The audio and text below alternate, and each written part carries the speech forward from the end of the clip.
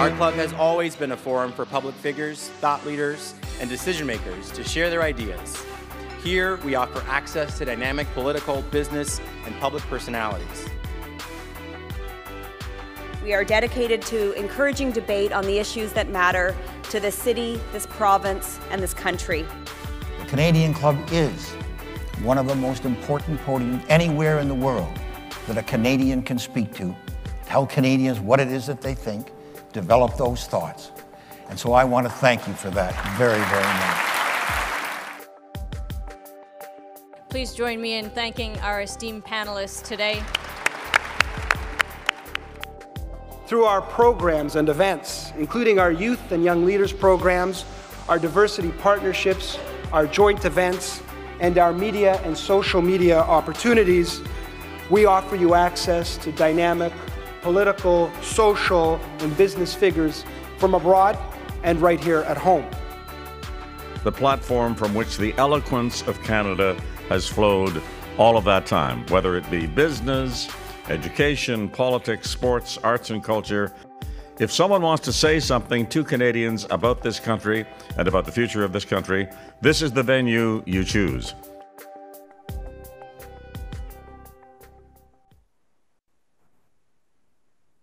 Hello, everyone, and welcome to the Canadian Club Toronto. My name is David Simmons. I'm the president uh, of the Canadian Club for this season. We appreciate you taking the time to join us today. As we begin today's meeting, I wanted to acknowledge I'm joining you from downtown Toronto, the traditional lands of the Huron-Wendat, the Anishinaabeg, the Haudenosaunee, and the Mississaugas of the Credit First Nation. Today's meeting is taking place on the home of over 70,000 diverse Indigenous peoples from across Turtle Island. Indigenous peoples are the original caretakers of this land, and we're grateful for the opportunity to meet here. Well, 82% of eligible Canadians have been vaccinated against COVID 19. This is in large part thanks to the dedicated efforts of healthcare professionals, life science researchers, and leaders on the last mile of care, including healthcare distribution workers, procurement leaders, and logistic partners. This week, Ontario joined other provinces and jurisdictions from around the world, further easing COVID restrictions. So, as we look forward to what's next and a return to some level of a new normal, I'm sure many of us are wondering how prepared we are for future pandemics. Well, today we're joined by Patricia Gauthier to hear more about Moderna's contributions to the ongoing battle against COVID 19 and other disease states. She will share lessons that we can learn and that she's gleaned over the last two years, launching what is effectively a startup here in Canada. Before we hear from our speakers, I wanted to give you some information on how you can participate. On your screen, you'll see click here to switch stream buttons that will help if your internet is slow. The video quality may decrease, but the audio quality will remain strong. You'll also see a questions tab where you can answer, enter questions into the window and we'll send those to our moderator. There is also a request help button located in the top right corner of the page for technical support. Today's event was made possible with the help of the generous sponsorship from McKesson, Canada's leading healthcare distributor and solutions partner. We're grateful for your support and for you helping to enable today's discussion. Patricia is joined in conversation by Carolyn Jarvis, Chief Investigative Correspondent for Global News. If you have a drink nearby, I'll ask you to join me in a toast to Canada. To Canada.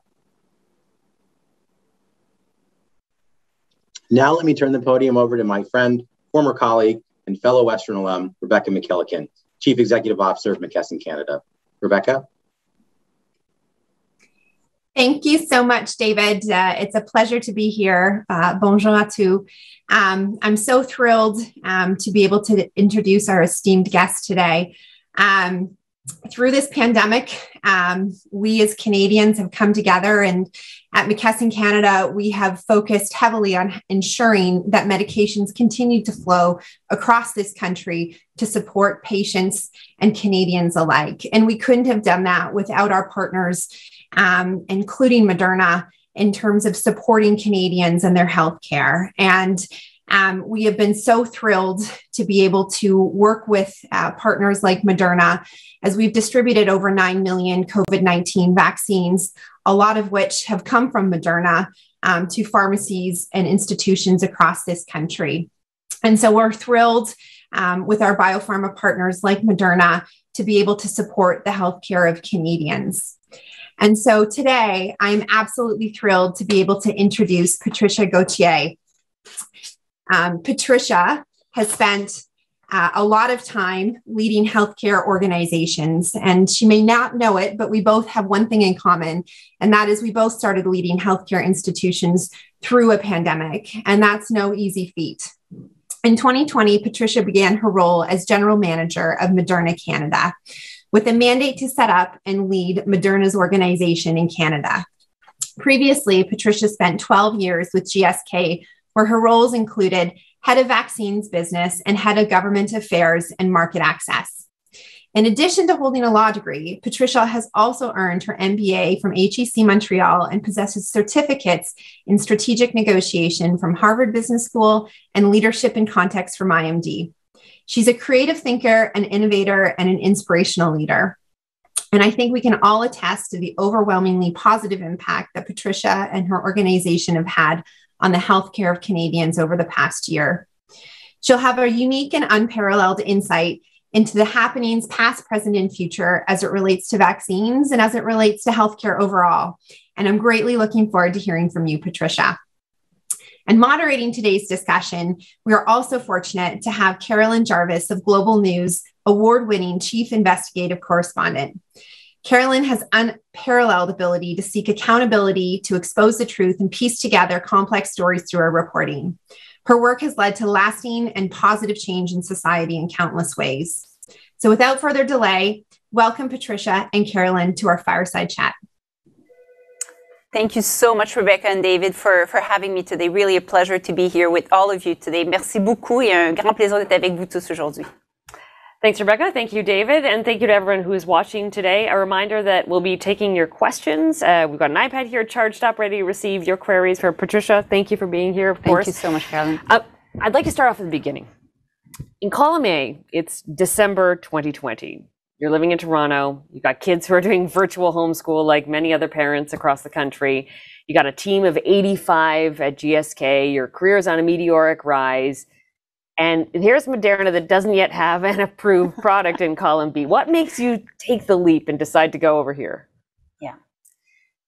It feels a bit crazy when I listen to it that way. Your words, don't mind. Yeah. so I think I come from an entrepreneurial family and, you know, small business. My parents, you know, we lived and breathed business when I was little. And then, and yet I always worked in large organizations, but I had that little fire in me that wanted to do something a bit more smaller, agile, nimbler, moving faster. And I've learned a ton in my legal career, in my big pharma career. I think it has really helped me become the leader I am today.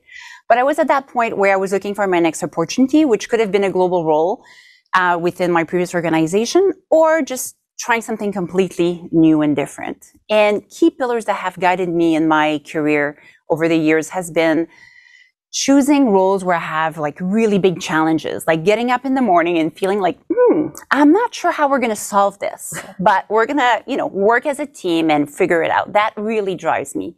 Learning, growing is really a key driver. And then working on projects that really have an impact. And when I look at the Moderna opportunity, it really checked all these boxes and more.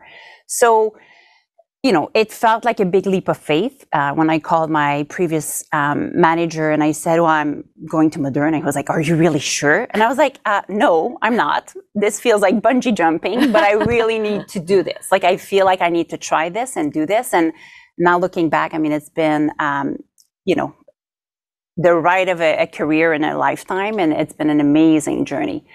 So you take the plunge. It's early December and the submission to Health Canada is just about underway. It's underway, but you don't have approval yet. Tell me what those first initial weeks were like. Yeah. So looking back, and I have like December 24th, Minister Anand on the tarmac, and my goal was like, we need to get there. So day one in the job, you know, there's not no such thing as a 90 day plan at Moderna. By day two, the 90 day plan is out the window and it's irrelevant because we're moving so fast. So the first three weeks were really spent understanding what do we need to do to get doses from Europe into Canada. So working very closely with our, our key partners that were uh, working with the Canadian government as well to make sure that we had all the different steps, the approvals, the distribution establishment license, all these little logistic steps that I had never worked in in my life that all mapped out and, and ready to go. In the meantime, working very closely with the global regulatory team that was actually working with Health Canada on a seven days a week, 18 hours a day, wow. you know, answering questions back and forth, providing more information to make sure we could, um, you know, achieve um, an authorization as fast as possible. And in the middle of all that, our, CF, our CEO, Stéphane Bancel, was like, well, Patricia, welcome to Moderna. What's your plan for Canada for the next couple of years? So you're presenting to me December. For two years. For, yeah, like what's, what's your plan? What's your vision for Canada? So December 13th, I was like day 13th or 14th in the job, and I presented to Stéphane our plan for Canada, which included we need to get to December 24th and bring doses to the country. Like that's like first step. Um, but at the same time, Stéphane, let me talk to you about uh, the vision I have for Moderna in Canada, which would include having a footprint, having not just a commercial organization, but really working with key partners here in Canada to, you know, to to work with them, benefit from the science, like scientific expertise they have, but also really bring the full power of Moderna to Canada. So, so you come on board and you're literally employee number one for Moderna Canada. Yeah. It only existed on paper. exactly. And so was there an office? We have a registered office. A re- okay. in British Columbia, of all places. So that's no good. yeah, but uh, no, I, we were all working from home. I mean, I, I was alone for about two months here in Canada very much supported by a big global team, a lot of key uh, partners here in Canada, and then we started building the team. But everybody has been working from home for the past 10 months. In the early days of the vaccine rollout, there was a lot of heat in Canada for us not getting vaccine supply quick enough, for us not having a domestic manufacturing capability in Canada. What was that like behind the scenes?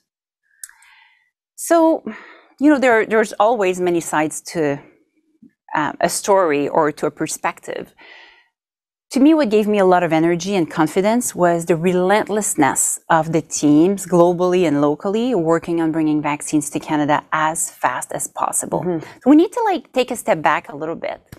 And, you know, in March, the WHO declared a pandemic. We had been working on a COVID 19 vaccine for a couple months by then. But everybody back then, first of all, Moderna did not have any approved vaccine. This was a first for us. And people were saying, well, it's going to take a couple years to develop a vaccine. Well, within 11 months, Moderna and, and, Pfizer as well had vaccines approved here in Canada. And then when you continue looking at perspective here, it was a first for Moderna, first product approved, you know, ever in our life. We're a small biotechnology company from Cambridge that had about 1,200 employees in 2019, and we're past 2,500 to this day. So growing really fast. But back then, we had never manufactured a vaccine to commercial scale, let alone a pandemic scale. So we had to ramp up on supply chain. We had to ramp up on in the US, but also globally to fulfill the need of that pandemic. So I felt like we were doing everything we could. People were working seven days a week, many, many hours a day to bring doses to the country, working with our partners And yes, the pressure was there. I mean, you know, like everybody else, I wanted my family to be vaccinated as fast as we could. Mm-hmm. Um, I wanted Canadians to be vaccinated as fast as we could. I mean, I'm Canadian. Let me tell you, I was I was hustling really hard with global colleagues to get doses here as as soon as we could. But at the same time, I knew we were doing everything we could. So when I, I look at this, I understand why there was pressure in the system, which is completely normal.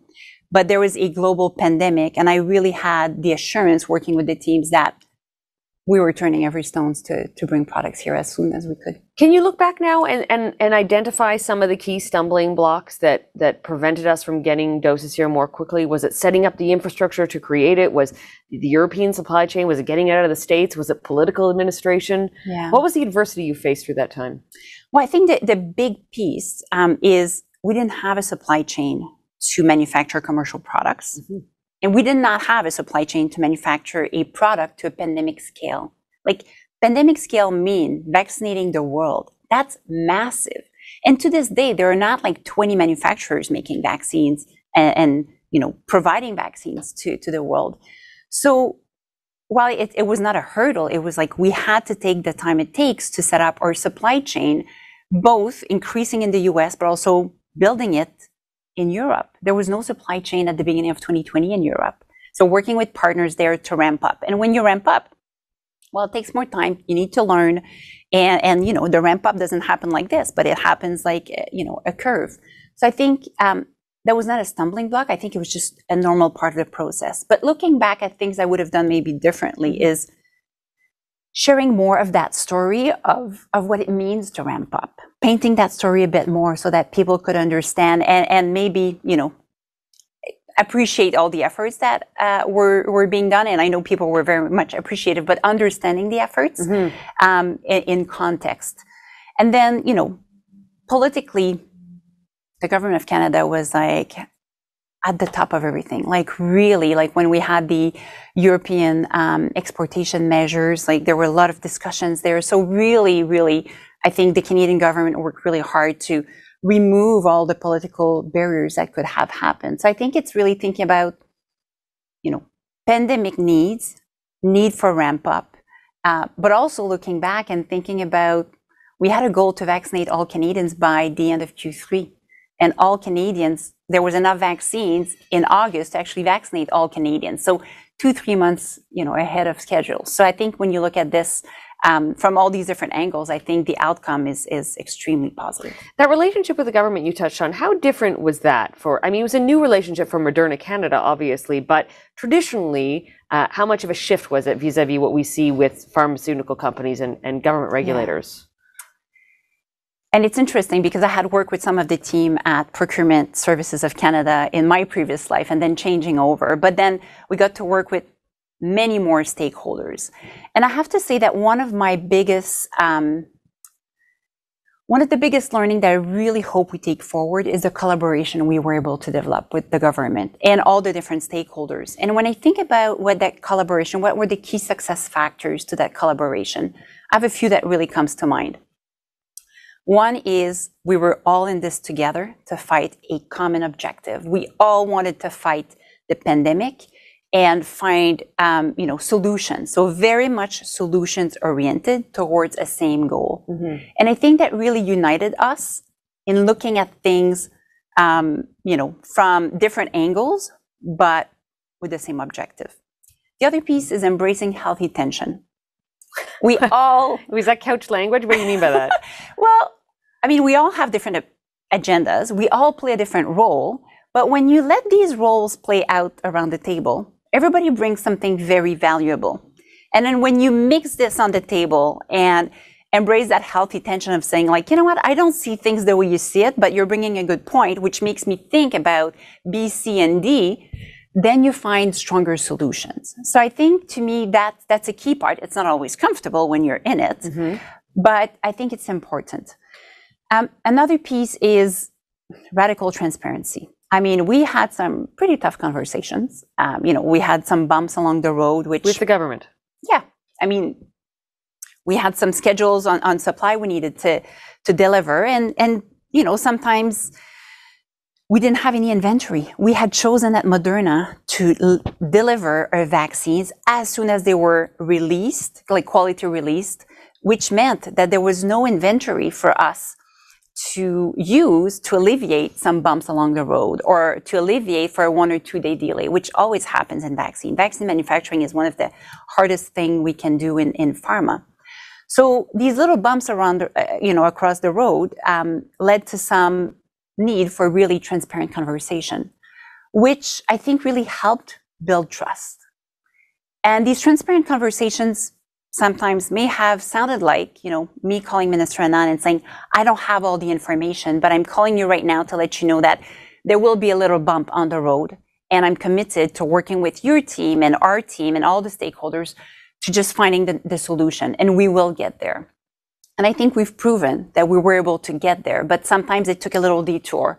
And these little detour required some transparent conversations, but it really helped us build trust. Um, and, and really trusting that we were all working towards the same objective, turning every stone we could to achieve our objective of fighting the pandemic. Another announcement that came from the government in partnership with Moderna was the new biomanufacturing site. We've got a question from the audience here about but where it's going to be located. I'm sure you'd love to answer that question right here. Where is it going to be? so the great news about Canada, it's a large country with a lot of expertise and great science and manufacturing capabilities across the country. So there's a lot of different opportunities and possibilities across the country. We are right now working with different provinces, different stakeholders to do some assessment. In parallel to that, which is also very important, we are working with the Canadian government to close the, the, the the, um, the definitive uh, manufacturing, um, you know, agreement as well. So a lot of things moving in parallel here, but this will really set us up, all of us, like the Canadian government, provinces, the different manufacturer, the CDMOs that will be involved in fill and finish and things like that. Uh, for future success and to really ensure we have a sustainable solution to future pandemic in Canada. So we're going to mark that down as a dodge Right. Yeah. Okay. we'll find out where it is later. let's talk it about. Not been decided. Yeah. Fair enough. It's fair enough. It's early days yet. Um, let's talk about what the pipeline holds in terms of the coronavirus vaccine. We're shifting now an eye to pediatrics. What are we seeing in terms of clinical development for a pediatric vaccine? Yeah, so we had just yesterday, we had our interim data for children between 6 and 11 years of age, which shows a very positive safety profile and very positive or strong immune response. So this is interim data. We, we now need to have like future analysis, uh, but this is very positive, which now leads us to be able to have conversations with Health Canada and, and start thinking about, you know, that submission. So we will be submitting to Health Canada soon. I don't have a specific date, but it will be coming um, in the next little while. So that's for pediatric. For booster vaccine, we have submitted our booster um, submission to Health Canada at the beginning of the month. Mm-hmm we are, you know, still going back and forth on some questions and things like that. And then we are um, waiting for a decision from Health Canada. We've seen the FDA, we've seen the EMA yesterday approve a booster um, indication for a COVID-19 vaccine. So there are a lot of different things that are in the works for the COVID-19 vaccine. In addition to that, we continue working on do we need another updated vaccine? Should there be a variant of concern that is not well controlled with the current vaccine we have? So we're working on different, we always assess. Like now mm-hmm. there's the Delta Plus va- um, variant of concern. We're assessing like how is our, our vaccine protecting against that? So, but we would be ready to go should there be a need for an updated vaccine. The data suggests that the original formulation, and that's the one you're using in your booster, still holds up against the dominant variants of concern in circulation. Yes, it's very effective against all the uh, variants of concerns, including the Delta, which is the most uh, common one right now in Canada. So very strong um, immune response. And I think when we talk about the booster, it's more of a over time your immune um, response starts waning, mm-hmm. and now we're all going to go back indoors. You know, kind of like starting some normal life activities that mm-hmm. we couldn't do last year. So I think as the waning immunity goes down a little bit, while the vaccine still holds, but that variants of concerns emerge and we go back indoor, it's more of that mix of like, at what point do we need a booster to make sure we continue being protected? Well, the timing is a big question because a lot of Canadians, of course, will be looking stateside where they have approved yeah. boosters for certain populations, 65 plus, and those deemed at high risk. And they'll be saying, well, why aren't we doing boosters here? Uh, the timeline that Moderna is suggesting is six months. Is that correct? Yes. After your second shot? Yes. And what's the science saying there? After six months, that's where we need to get concerned? So, what we have seen in our uh, phase three data is that we start seeing an increase in breakthrough cases after the six month mark. And then we see more breakthrough cases, which then leads us to believe that at six months, your immune system starts waning enough that now you're a bit more at risk. Mm-hmm. Uh, but in Canada, we've had, you know, a dosing schedule that was a bit different depending on, on availability of supplies. I think NACI will have to come out with a recommendation to support provinces in their vaccination programs. Got it. And NACI so far has only said immunocompromised people, and then in certain provinces we're seeing long-term care home residents. Yes. So we're still waiting on Health Canada for yes. decisions on that. But there's a lot of other boosters that Moderna has in the pipeline. You're you're got boosters in development, looking at the Delta variant, at the Beta variant, and you even got one in combination with the flu vaccine. Yes. So it could be something that we get every year. Yes. So the the COVID nineteen vaccine has proven that the mRNA platform that Moderna has works in vaccines. So what we're going to see now is an we're going to see our pipeline in infectious disease and vaccines really accelerate.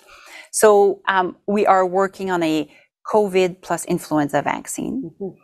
We will be eventually working on a COVID plus influenza plus RSV vaccine potentially because we're developing all the mono components of these vaccines. We're working on an influenza vaccine alone and working on an RSV vaccine alone as well. And then the goal is, could we have a pan respiratory vaccine that once a year, if you're, you know, if you're at risk, you can get one shot, be protected against three diseases. So that's really our, our ambition and objective. Wow. Uh, Moderna announced, uh, forgive me, I'm going to skip ahead because we talked about biomanufacturing. Uh, when you talk about Moderna having a footprint in Canada and your growth here from being employee number one, where do you see this company and its footprint in Canada expanding? Yeah. So when I just think about the past 10, 11 months, it's pretty, um, I don't know what's the right word, but it's quite impressive the growth we've already seen. I mean, started with employee number one. At the end of, of January, we had employee number two, and then every month we had more employees. And at this point, there are 10 of us, like located in Canada for the Canadian organization. Mm-hmm. What I love to see as well is that we have Canadian employees supporting the global organization that are also based here in Canada, which really speaks to the talent of Canadians and, really going across borders to get the best talent we can. So we'll continue growing from a, resourcing, um, you know, perspective. We also have a model where we work very closely with many different partners for things or for functions that we choose to to work that way with. So it's not just the number of employees we have; it's also all the partners that we work with in Canada. And I think our footprint there is growing and continues. What we also want to look at is how can we tap into the really strong science uh, that the Canadian life science ecosystem has to offer. And here I'm thinking about partnerships with universities, research organizations. How do we bring more clinical trials to Canada? How do we improve some of our ways of working in Canada to just facilitate organizations doing more and, and accelerating, um, you know, projects here in Canada so that, I mean, Moderna, our vision is really to go beyond being a commercial organization and really having a footprint across all of these different areas, you know, from um, scientific research, artificial intelligence, clinical trial, and, and, you know, potential business development deals Um, as we've been doing for, for some years as well. And to be clear, when we're talking about Moderna's fleet of products, we're not just talking about a COVID 19 vaccine. We're talking about five plus areas of development. Can you shed some light on those? Yes. So, vaccine is kind of where we're very much going like full speed because the platform has de-risked that area. So, we're seeing an increase, like the speed will be, you know, increased because we have that backbone that has been proven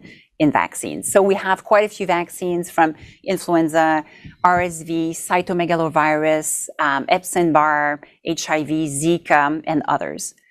But in addition to that, Moderna is not just a vaccine company, we're a platform company. We have an information molecule that we believe will really help us meet unmet medical needs in other areas. And here I think about oncology, I think about autoimmune disease, I think about cardiovascular diseases and rare diseases. So there are very many different therapeutic areas where we are working hard to bring the full promise of the mRNA technology. So somebody battling cancer will be looking at a company like Moderna, whose vaccine has taken off and solved many of the problems the world is facing today, saying, when can I get my hands on a cancer treatment that will help me in my ailment? To that sort of person watching today, what would you say? Well, we are in clinical um, in clinical phase with our oncology products. So working hard. I mean, there's there's no speed at Moderna other than fast and sense of urgency. So I can assure um, you know everybody listening that we are very committed to bringing our pipeline to, uh, of products to patients as fast as we can. And we have many clinical trials in fields such as oncology. And then we hope that, you know, once if we have positive data, then you can even accelerate further. Do you think because we've established a new way of partnering with the government in terms of regulatory approvals, you fed them information as it was ready, we could see other therapeutics, other vaccines, cancer treatments approved more quickly as opposed to the old traditional way of doing things? This is my hope. This is really my hope. And I have to say that again, I, really want to salute the, the Health Canada has been a fantastic partner through this. We are the and Health Canada currently is doing a consultation on the modernization of the regulatory processes for, for that they use.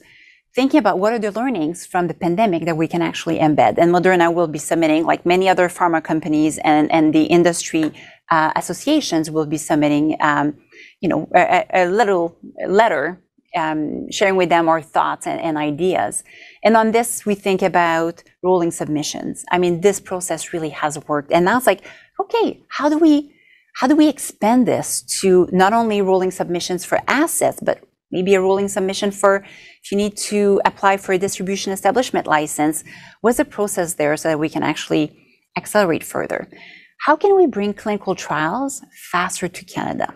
So how can we create maybe um, a harmonized, centralized process with one ethics review and faster approval on that front? That would serve everybody. So we have a few thoughts like that that you know we are discussing with Health Canada. We'll be submitting our thoughts, but I can say that the openness that they've shown and the willingness to just continue partnering and doing things in in a way we've been doing this I hope in a much more sustainable way. Everybody has been working flat out, and I don't think that's sustainable. So we don't wish that on anybody, but I think there are good processes we've put in place that we can definitely um, leverage into the future. We've got another question for the audience, and just a reminder to anybody who's uh, viewing, watching today to submit your questions. Patricia would love to answer them. I hope so. Um, okay, question here we go. What are the top challenges facing your team over the next year? That's a great question. I mean, we have a team of 10-ish very dedicated, selfless, relentless and bold um, employees and will be growing. And I think one of our key challenge is we need to move from firefighting and fighting the pandemic to becoming a Canadian organization. We need to build you know, our team, now we're growing, we'll have people reporting into the, the leadership team. So how do we build a strong Canadian organization with a culture that is very much aligned to the Moderna culture of being bold, curious, collaborative, um, and at the same time, you know, kind of have it, its own little Canadian color to it and, and very much focus on the same objectives. So I think that's a really, you know, nice challenge. I think we want to be these um, collaborative partners in the ecosystem. I mean, through the biomanufacturing agreement, through our commitment to life science and, and research and innovation. So bringing these partnerships to life, finding solutions, not going back to we've always done it like that, let's do it like that, but actually finding more effective ways to achieve even bigger impact, I think will be uh, a challenge that our team, you know, will be focused on tackling together. Another question from uh, the audience is about vaccine hesitancy, and that's been something we've been seeing a lot stateside, but there is still an entrenched group of people who are hesitant towards any sort of vaccines. A lot of that is directed towards the mRNA technology, which they might argue uh, was untested at the time. How do you respond to that? And how do we reach those people in a meaningful way? Yeah. So our team has been working very closely with the Public Health Agency of Canada to support their education efforts. They, they've and and Public Health Agency of Canada and all the various provinces have been working really hard in trying to provide all the right information for Canadians to make an informed decision. So we've been partnering with them to support their efforts. We've been doing some of our, our own initiatives ourselves as well, um, you know, in, in ways that hopefully helps people better understand what is the mRNA platform? What is it? It's just an information molecule, uh, you know, really helping people understand that. And I think we have more work to do on that front. Mm-hmm. I think it's still a very new technology. So a lot of the focus of, you know, our, our team, both the medical team, marketing team, and, and customer engagement team will be on making sure people fully understand that platform and new technology to build confidence in, into the platform and the technology. And on vaccine confidence, I think it's really working with the different stakeholders to reach as many Canadians as we can. I think with an 80% vaccination rate mm-hmm. in Canada, it's quite phenomenal. It yes, we can get to 100%, and I do hope we get there. Do you think so? Do you really think so?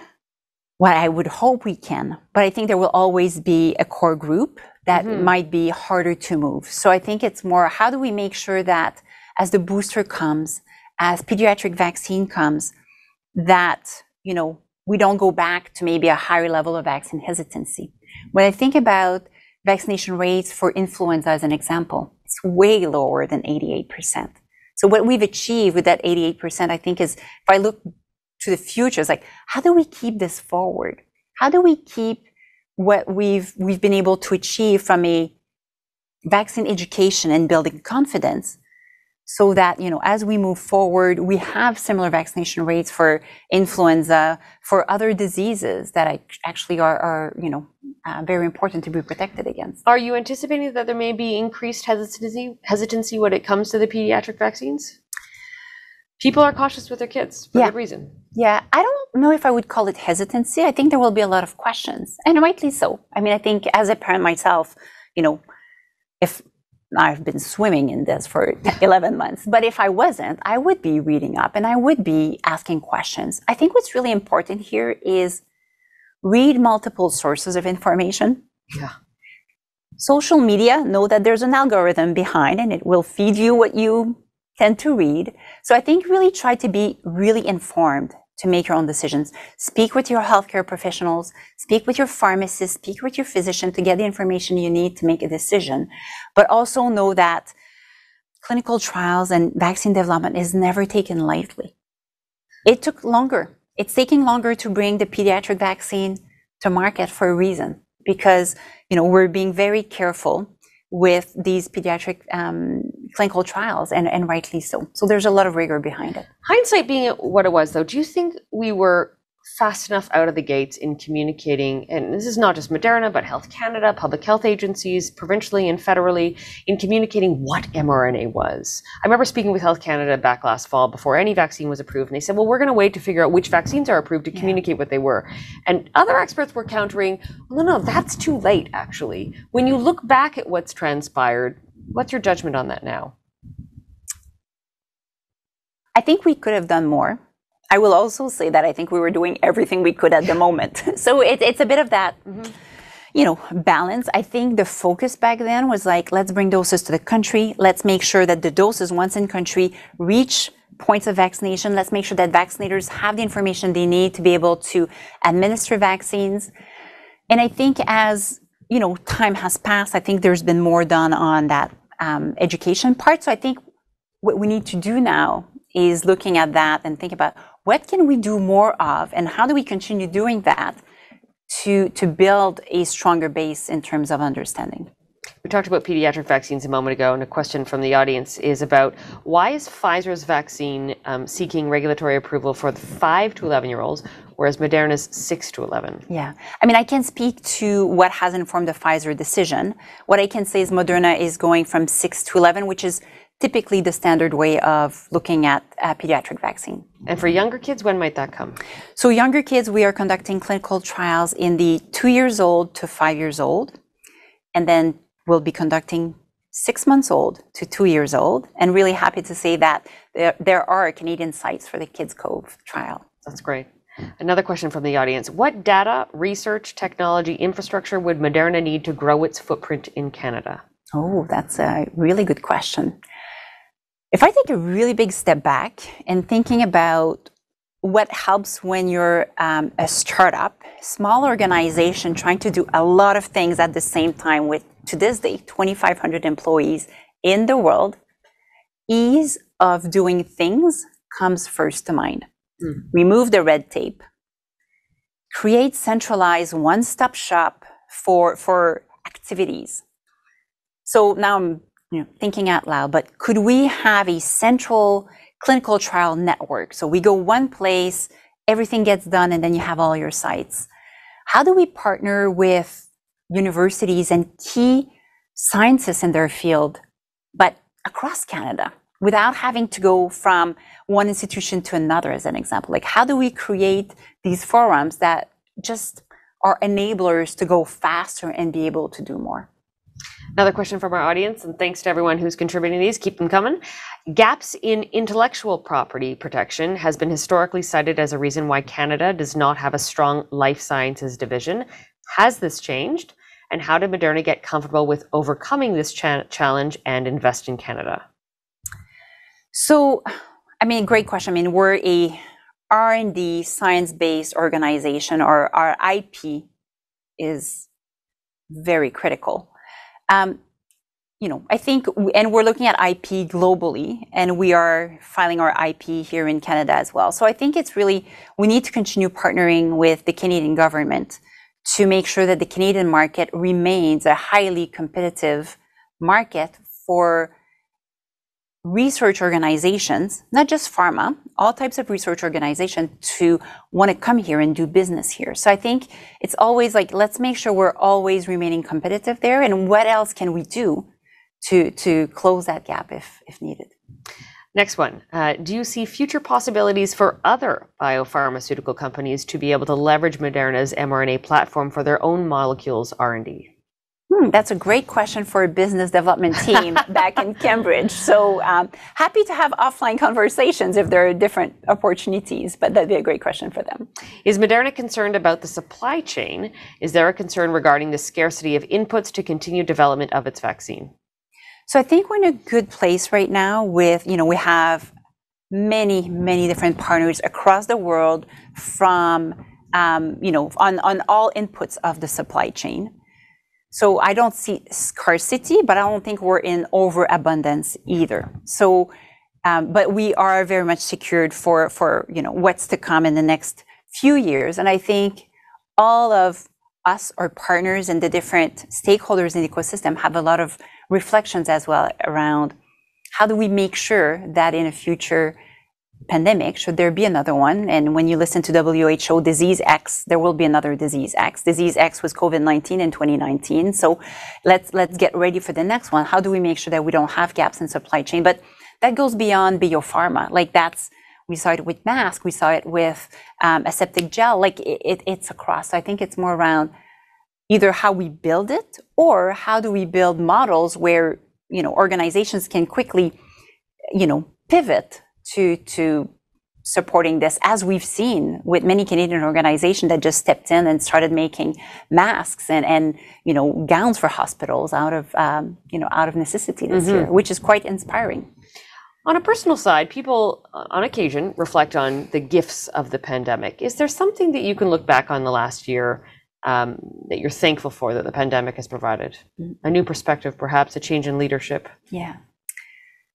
I'm a optimistic person. And, and when I look at the pandemic, and while there's been a lot of difficult times in the pandemic, on a really personal note, I worked extremely hard, the hardest I've worked since I left private practice. But I was home. I was home with my kids. I wasn't traveling, which made me realize I was traveling a lot more than I was making myself believe. And while I was working, you know, 14, 16 hours a day, I could always come out and have a quick dinner and then go back to my office. Or they could come in, sit on a chair, and listen to me while I'm in meetings or ask a quick question for homework while, you know, trying to manage a few different pieces. So that in itself, what it had, a, while it had a lot of challenges, I think really gave me very precious time with them and even opportunities to teach. You know, they, they, they started, they went from playing teacher to playing boss at some point because they were just like mimicking what they were hearing.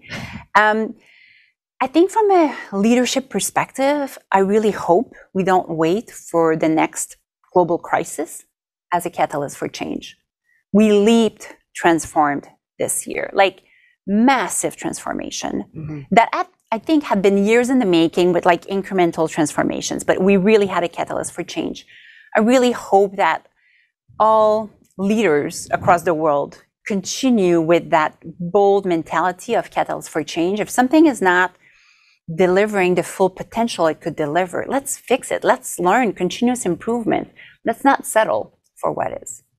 Is there a question that people who know you as Patricia, not the Moderna GM Canada or former GSK executive, stop you on the street and ask you about this pandemic or your role most frequently? What's the question you get the most?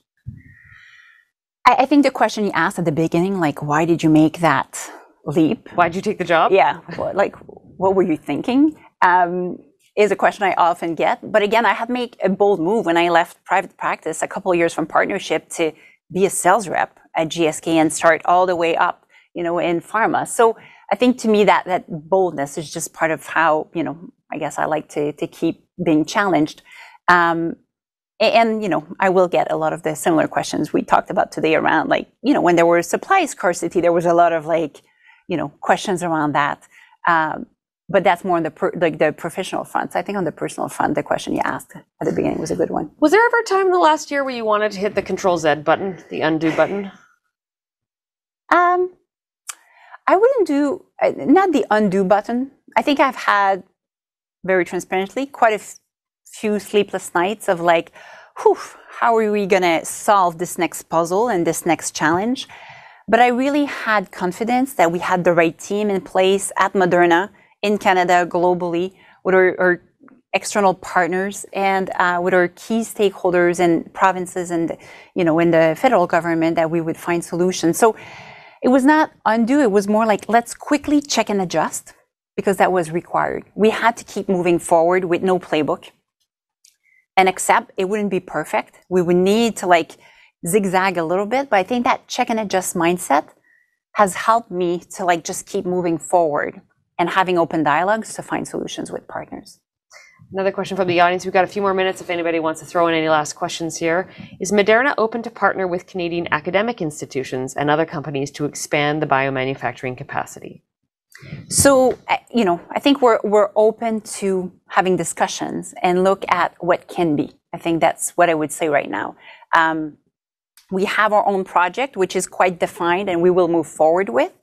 But then in terms of you know, pandemic preparedness, for example, I think there is a lot of work we need to do to make sure that we are ready for the next pandemic. And I think that will not be Moderna alone. It will not be public health agency alone. That will be a collaboration that could come from a, you know, um, um, multi academic, academic yeah. or, or multi stakeholder. Well, in the spirit of collaboration, another question here about whether or not um, Moderna would consider an approach where pharmaceutical companies would partner among themselves and among other bio leaders. So I think the pandemic has showed us that many pharma companies started collaborating. We've seen the unusual deals of pharma companies lending their manufacturing sites or fill and finish line to another big pharma to make products and go faster. So in the US, we're partnering with Sanofi as an example. So I think this is already happening. We've also partnered with um, pharma companies to do clinical trials where you could have co-administration of vaccines. So I think this is happening and this is definitely an area that we can continue um, exploring where it makes sense to, to bring more innovation. Uh, did you expect the COVID vaccine to have an 80 plus percent effectiveness rate? It's even higher than that, if I'm not mistaken. Yeah, we're at 93 percent. Uh, yeah, there you are. Fact check. Uh, lots of vaccines would tend to be around 50 to 60 percent. Does mRNA technology make vaccines more effective generally? So absolutely right that I think the mRNA platform have shown a really high level of efficacy that is quite outstanding even in the vaccines world. I mean, there are other vaccines that have shown really high um, level of efficacy that are usually with an adjuvant. But the mRNA platform, I think, is a new technology that without an adjuvant can, can show that. And it's all about that information molecule that really has the same sequence as the, as, as the virus um, that you're trying to, to create an immune uh, response for. So we have one proof point right now that shows that the mRNA vaccine, COVID 19 vaccine, is highly efficacious. And we do believe scientifically that this is a good foundation to believe that the future mRNA vaccine can be can show a really high efficacy, but we'll see this with the data coming as we we bring these assets to market. If we were to have this conversation one year from now, what are the boxes you would like to have checked by that point? So, I mean, I think we checked a lot this year with, with the pandemic. A, a, really big one that I'm hoping we're going to really finalize soon is the whole biomanufacturing project with the Canadian government, like finalizing all of the steps that come with it and implementation, you know, um, seeing the shovels into the ground and, and starting building. To me, I mean, at the end of next year, I'd love to be able to say, like, you know, the, the building is taking shape. We have several partnerships from an R&D perspective. We've increased our clinical trial um, number of sites, you know, by a specific number. And we're having impact. To me, it's not about just what we're doing, but it's like ultimately, what is the impact we're creating for Canadians? So how many Canadians can be involved in projects that we're working in?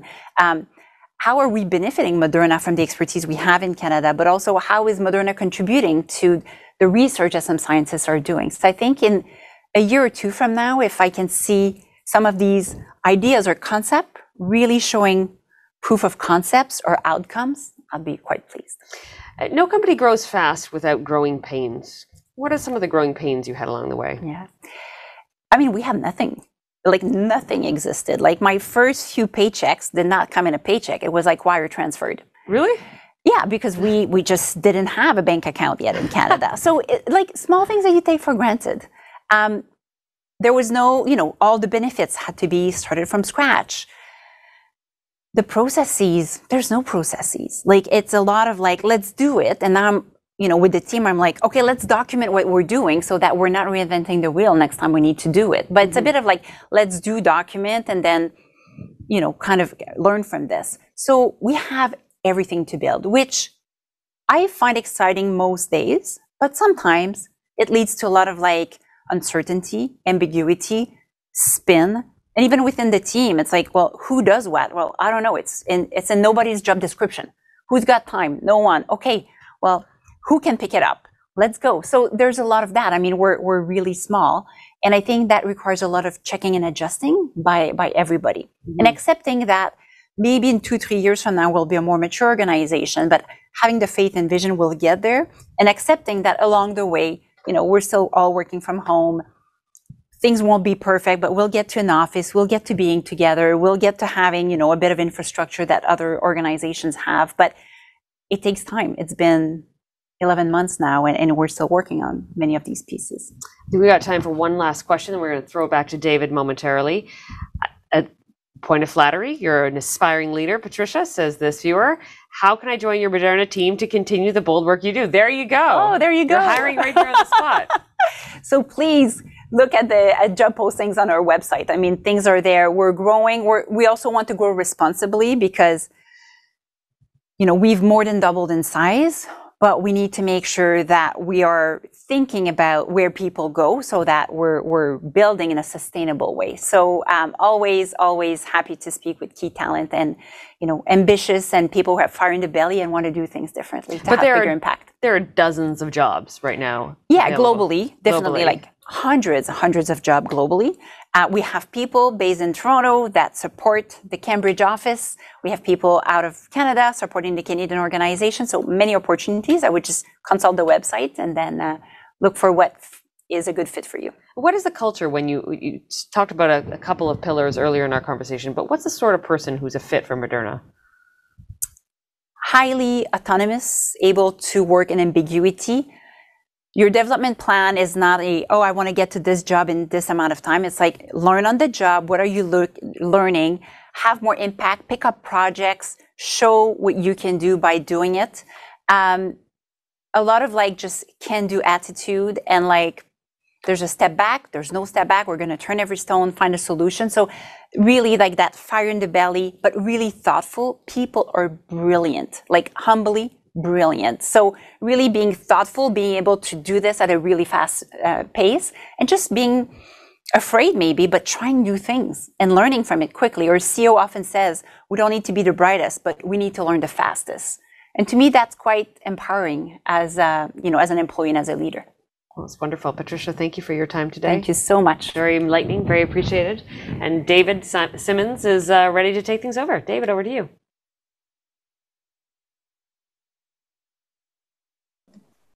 I was on mute. So the pandemic is not over. I'm still on mute. Thank you to you both for a tremendously engaging conversation. I was sitting here thinking, wow, I feel like I'm in the living room talking about what matters uh, to really everyone right now, which is uh, the success you've had as a company here in Canada, around the world. Uh, Patricia, congratulations and, and, thanks for all that you've done. Carol and your team has done. And Carolyn, thank you for expert moderation. Uh, way to, you know, as someone who's done media relations, I was like, this, this one's really, really good at her job, and it's great. So, congrats. That was really fantastic. Um, Patricia, if I can say, you know, I'm supposed to say what I learned from your presentation. Um, I learned a lot, and I'm grateful to Canada's broader pharmacy and, and pharmaceutical and bioscience industry. So, uh, thank you for being a part of that. But I took away sort of three things on a personal level. Courage matters in today's world, and you've demonstrated a lot of courage, and Moderna's demonstrated courage measured risk matters. Uh, and when you do it right, it pays off, as we're seeing. Um, and I just, as I was watching you, I thought more people should bet on themselves and bet on each other because it sounds like that's what you did when you left McCarthy's and when you decided to leave GSK. So thank you for that. And thank you for what you've done. Um, thank you again to McKesson Canada uh, for your sponsorship at today's event. You made today's event accessible to everyone. We had close to 500 people, uh, and that's because there was no barrier to access. So we appreciate you, McKesson. Uh, thank you to AV uh, supplier Van Valkenburg Communications and livemedia.ca for helping us be together virtually today. Uh, guests, if you'd like, you can join us tomorrow. We'll have a virtual discussion with the former uh, Governor of the Bank of Canada, David Dodge. He's going to share insights into Canada's future economy. And on Tuesday, November 2nd, we're hosting uh, Eric Martel, President and CEO of Bombardier, in person here in Toronto. He'll talk about his vision for Bombardier and the role that Ontario is going to play in their uh, growth strategy. Please visit us, visit us on our new website, canadianclub.org. It's great, it's new, there's membership information. We'd love to see you join us. Thanks again for being here. Stay safe, get vaccinated, uh, and we'll see you again soon. Bye bye.